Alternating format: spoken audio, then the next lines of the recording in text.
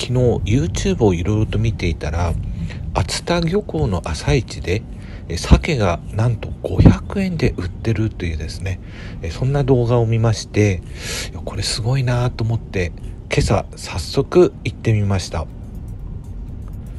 この熱田漁港は今年2回目になりまして前回はね夏にあのホタテとかあとウニとかそういうものを買い求めに来た依頼になりますで10月の20日ぐらいでこの朝市は終了するみたいです。でこの時はですね、えー、朝の7時20分頃に着いたんですが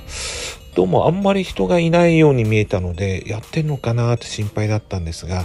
ちょうどこれ今目の前ですね、えー、これ鮭がね運ばれていきましたので、えー、やってるようです。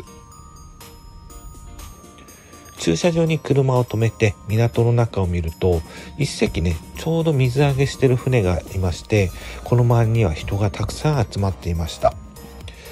で朝市の中はまだお店ねあの全然開いてなくて1箇所だけ開いていてそこにはねかなり人が並んでいました。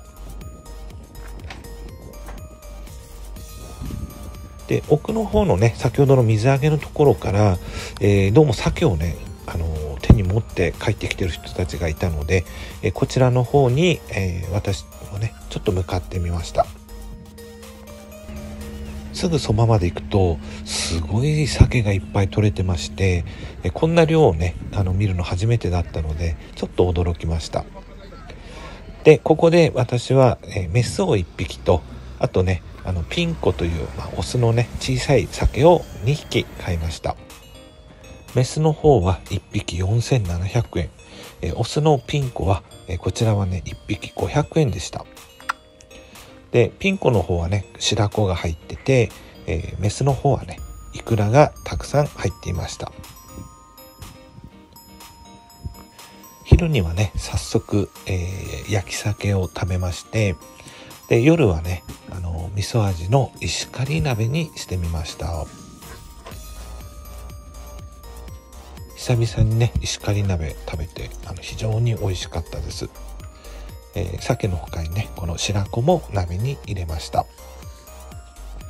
あとねいくらの醤油漬けを、えー、こちらもねすぐ作ってもらいまして、えー、こちらはね約 500g ほど取れました。はい、ということでね、こちらの熱田漁港は10月の20日頃までということだったので、急いで動画を作りました。気になる方は是非行ってみてはどうでしょうか。